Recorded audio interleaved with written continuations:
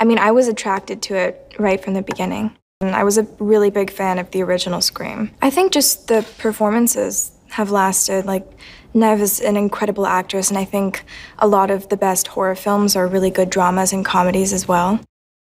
One of the pitches that the directors um, talked to me about is that they were really trying to make it feel more like the original, and I just loved talking to them. I felt like I had good chemistry with them right away, which is so important. Um, and they just seemed so passionate about the original Scream movies and really tried to articulate to me that they wanted to preserve the legacy that Wes had created. And it was so exciting that all the original legacy members were coming back. And I'm such a big fan of Neve, so um, David's incredible. He's so sweet and cool and down to earth. And um, me and uh, a lot of the other kids spent a lot of time with him. And I mean, he's he's just awesome. He's so sweet, and he taught us all to paint, which was really cool. Like all these people are so talented, and um, it just feels really electric being on set filming with everyone. Everyone's great, and and everyone loves what they're doing. So it's been it's been awesome.